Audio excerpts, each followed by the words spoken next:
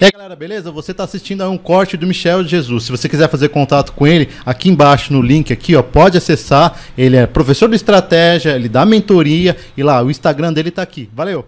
Primeiro concurso que você foi chamado. Primeiro concurso que eu fui chamado. Você lembra? Deixa eu. Que você foi, na verdade, que você começou a trabalhar, vai. Acho que é melhor dizer assim, na, na sua área. Ah, o primeiro concurso foi procurador de Barueri. Barueri? É. Nossa, esse é muito bom também, É, né? não é ruim não. Muito bom. É, eu prestei concursos de procuradorias não tão boas e outras muito boas. Uhum. né? Porque o procuradoria é uma coisa que, para quem está antenado nos concursos, sabe. Para quem não está, a pessoa não tem essa noção. A pessoa acha que, por exemplo, e de certa forma até pode ser verdade, que as melhores carreiras são as federais, as segundas são as estaduais, depois as municipais. Só que a carreira de procurador do município tem algumas vantagens. Você tem algumas procuradorias que pagam mais do que as procuradorias federais ou estaduais, ou seja, já é o maior salário do serviço público nessas três esferas ainda por cima permite você advogar. O que, né, se você analisar, bacharel em direito, servidor público, o único cargo que ele pode advogar hoje é sendo procurador do município. E algumas procuradorias de estados. A gente, por exemplo, recentemente teve concurso procurador de Goiás. O estado de Goiás foi um concurso disputadíssimo porque o salário do edital era 33 mil início de carreira, podendo advogar. Então, é uma procuradoria de Estado que pode advogar. Então, procuradoria de Estado é uma ou outra que pode advogar. Ainda estão começando a aceitar isso. Mas no município é uma realidade de muito tempo. É normal um procurador de município ser advogado também. Então, eu prestei algumas procuradorias de município que eram muito vantajosas né, sobre esse aspecto. Que você tinha um salário maior do que uma procuradoria de Estado e ou então então as carreiras da Advocacia Geral da União, e ainda mais que você poderia advogar. Obviamente, como a gente presta um serviço para uma, administração pública, o nosso tempo é escasso. A gente não consegue ter um, um escritório de advocacia cheio de processo igual um advogado. A gente acaba advogando em questões mais seletas. E aí, então, acaba que a gente acaba selecionando qual processo ou não. Mas ter essa, essa liberdade para você advogar, isso tem um valor muito grande. Então, Sim, sim. já foi uma procuradoria boa. Confesso que já comecei numa procuradoria boa e eu não precisei depois, quando fui chamado nas menores, trocar uma pela outra, não. Sempre. Já comecei bem nos concursos, quando fui chamado. E Legal. esse, e esse caso de você poder advogar também enquanto procurador deve ter um, tem- uma, uma vantagem é que, sei lá, né? Alguém vai procurar, "Ó, o cara é procurador. Eu Acho que já dá aquela Moral, vitrine, né? né? Dá uma- uma você vai vitrine procurar pessoa, advogado. né? vão adv- Ah, o advogado fulano de tal. É isso aqui. Esse cara, o advogado aqui é procurador. Aí você. Ah, Né? peraí, Não, né? não, não, naturalmente uma- isso acontece na prática. A gente nunca, eu nunca, eu nunca, eu nunca me apresento dessa maneira. Dependente do, dependendo do ambiente que estou, eu falo que sou advogado. Dependendo do ambiente, eu falo que sou procurador. Eu nunca tento conseguir, Entendi. mas naturalmente eu reconheço. Muita gente me procura porque eu sou procurador, né? É, até porque você só não pode advogar contra o município que te remunera, Exatamente. né? O resto O você resto, pode. tudo. Até contra o estado de São Paulo, né? Posso, até contra o né? Estado. E a minha maior atuação realmente é muito fora do Guarujá. Eu não tenho um processo no Guarujá. Não, tô nem falando contra o município que não possam, nem, nem Sim, sim. particulares no Guarujá. Eu Sim. advogo aqui no estado de São Paulo, assim. Também em outros estados eu tenho, tenho cliente. Entendi. E esses 12 concursos que você passou foram todos de procuradorias? A Ou procuradoria e algum- o advogado de autarquia. Advogado de É. autarquia? Foram, que foram esse, esse período que eu fiquei estudando aí, esperando os três anos, É. procuradoria. É isso que eu ia te falar. E esses 12, foi em quanto tempo, de, assim, no espaço de quanto tempo que você passou nesses, nesses 12, você lembra? Ah, quando eu Quantos anos, sei lá? Ó, do primeiro que eu comecei a passar, né, que teve um período que eu só estudava e, e era reprovado.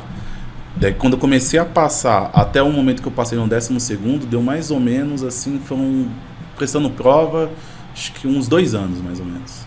Em dois anos? Uns dois anos. Caramba, é muita aprovação. E a maioria aqui em São Paulo, assim, no estado de São Paulo? Ou chegou A maioria no estado de São Paulo, mas teve fora também. Pô, que legal, cara. Porque, o que, que, que, que eu fico pensando? É, você, quando você estava em Barueri, você passou no concurso de Barueri, você poderia até ficar por lá, até porque lá tem uma remuneração boa. Você continuou prestando as procuradorias? É isso que eu tô. Na hora que você. Então, Porque eu- você queria eu- promotor, né? Exatamente. Eu tive a sorte ou o azar, é, aí eu não sei, depende do ponto de vista, que não teve um concurso que eu passei que eu estava entre os primeiros e fui chamado de imediato. Os concursos Ah, que eu tava- passei, todos demoravam um tempinho para me chamar. Ah. Enquanto não me chamam, amigo, eu vou estudando. Além do que, na minha cabeça, naquela fase da minha vida, a procuradoria era um concurso escada. Eu estava prestando Ah. exatamente até eu fazer os três anos de prática jurídica para eu ser promotor, que é o que eu queria.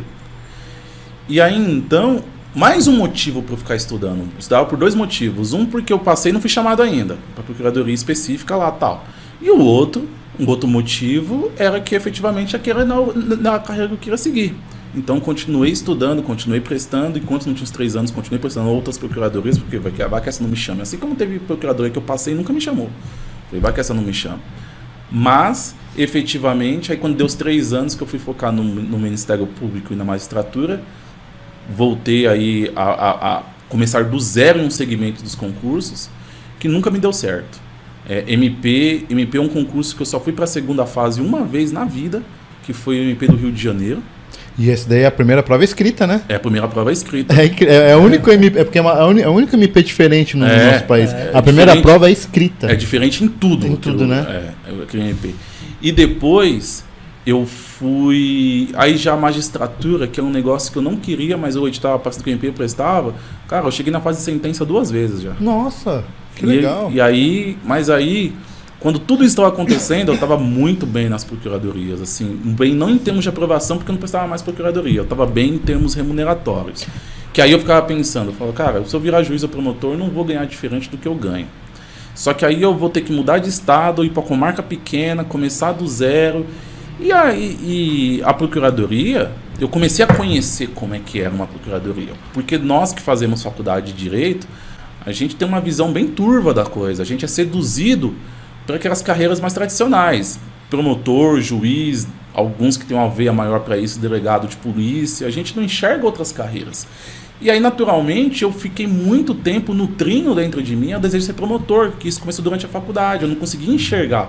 Quando eu virei procurador, que eu sentei e, e percebi a minha afinidade com as matérias de direito público, o quão legal você ter uma atribuição que é defender o patrimônio público, o erário público, as teses de procuradoria.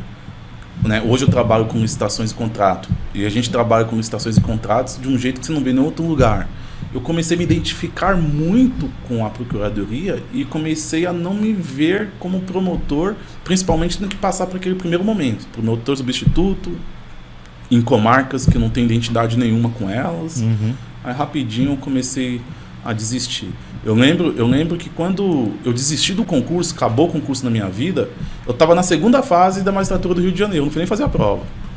Eu falei, ah, não, não, porque se eu passar também não vou nem querer ir, né? E, e, e, o fato de você ter desistido dessa carreira te decepcionou? Não, Sim. não. Nenhum momento? Não, nenhum momento. Hoje eu dou graças a Deus que existiram três anos de prática jurídica. Porque naturalmente eu teria saído da faculdade, focado no MP e teria ficado ali até passar. E eu acho que, né, do jeito. Conseguiria. Do, uh, provavelmente eu conseguiria.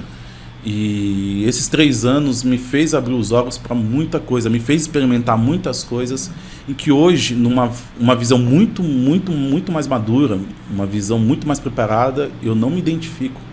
Acho muito bonito ser promotor, acho carreira brilhante, não estou pequenando essa carreira, longe disso. O que hoje eu digo é que realmente a vida conseguiu fazer que eu parasse ali um pouco para eu poder prestar atenção e ver que aquilo não é minha vocação, e não é mesmo, efetivamente. E os nossos